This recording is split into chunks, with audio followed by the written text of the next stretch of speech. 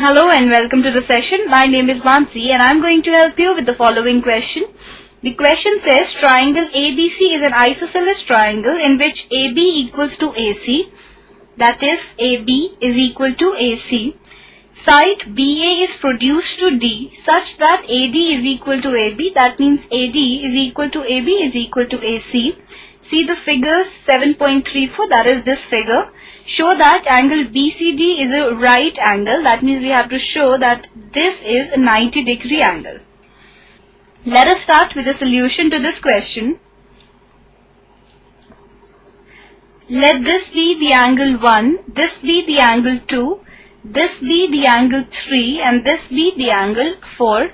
Then we see that angle 1 is equal to angle 2 because angles opposite to equal sides are equal and AB is equal to AC that is given to us in the question. Since AB is equal to AC and AB is equal to AD then AC is equal to AD.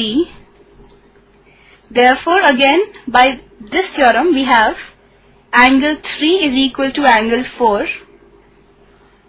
Now in triangle BCD that is this triangle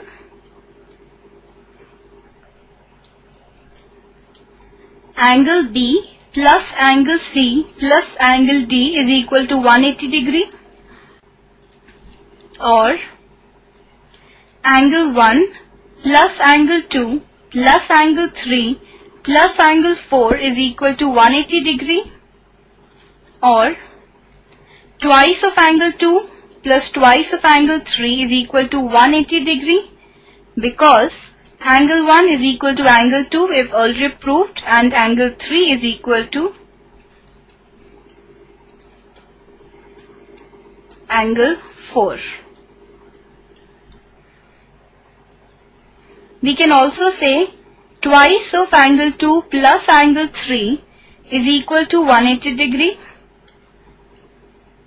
Therefore, angle 2 plus angle 3 is equal to 180 degree divided by 2 that is equal to 90 degree or we can say angle BCA plus angle DCA is equal to 90 degree or angle BCD is equal to 90 degree.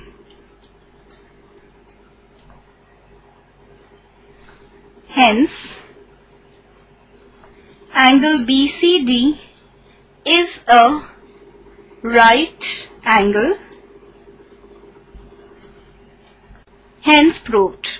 So I hope you understood the question and enjoyed the session. Have a good day.